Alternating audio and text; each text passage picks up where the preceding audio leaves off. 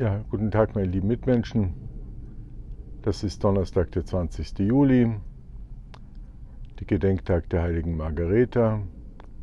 Die Margarete in Rothenbach, die feiert heute Namenstag und ich denke herzlich an dich und die anderen, die heute am Tag dieser liebenswürdigen heiligen Namenstag haben, den gratuliere ich auch. Und hier was ich so langsam vor Ihnen Revue passieren lasse, ist wirklich also so schön, dass es einem ans Herz greift. In Südfrankreich, in den Seealpen, so eine Dreiviertelstunde von der Côte d'Azur entfernt, da darf ich durch Gottes Güte und die Großzügigkeit meiner lieben Gastgeber wieder sein.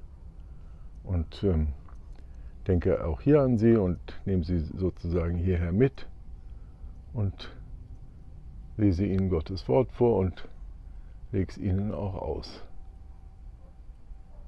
Süß wie Wein soll es in Ihren Ohren und in Ihren Herzen werden.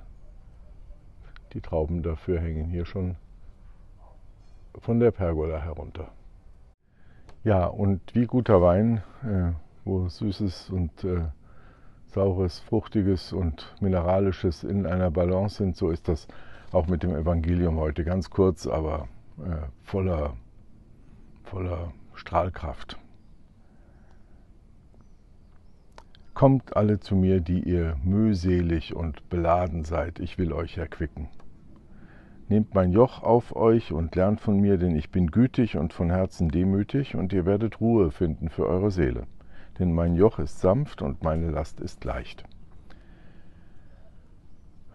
Allen Ihnen und mir auch gönne ich die Erquickung, die ein äh, gekühltes Getränk bietet, ähm, aber es ist halt so, kaum hat man es drinnen und unten, tritt es äh, als Schweißperle schon wieder äh, auf die Stirn und ist weg. Und das, was Jesus hier bietet, das ist wirklich nachhaltig, das reicht für ein Leben, diese Erquickung. Ähm, sie äh, besteht darin, ähm, dass er nach seinem Vorbild und mit seiner Geisteskraft und in seiner Gesinnung aufzunehmen äh, und äh, durchzutragen, was uns mit uns selber aufgegeben ist, mit der Last, die wir uns schon auch oft selber bedeuten.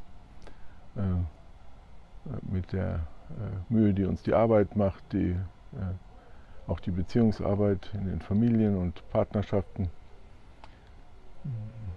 im Beruf, äh, in Gesundheit und Krankheit, in der langen Dauer des Lebens oder in den Ereignissen, die es je verkürzen, all das, was unser Leben ausmacht, dass wir das annehmen und aufnehmen. Und, soweit wir nur irgend können, mit äh, hellen Augen und äh, guten Herzen nach den Lasten schauen, die zu tragen wir anderen behilflich sein können. Das tut Jesus.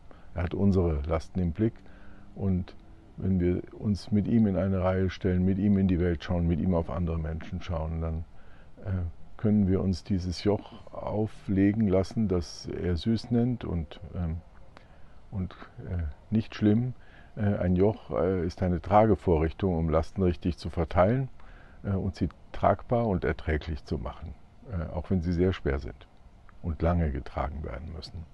Und vielleicht dürfte ich sagen, das Joch, das ich Jesus selber tragen sehe und das er uns anmessen könnte, das ist wohl Glaube, Hoffnung und Liebe, diese drei.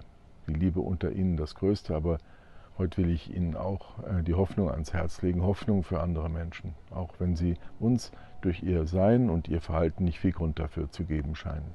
Aber wie Gott äh, mit einer immergrünen Hoffnung für sie hoffen, dass es mit ihnen noch gut wird, das ist äh, lebensrettend. Leben hier und Leben in Ewigkeit. Gott schenke Ihnen diese Erquickung und er segne und behüte Sie alle.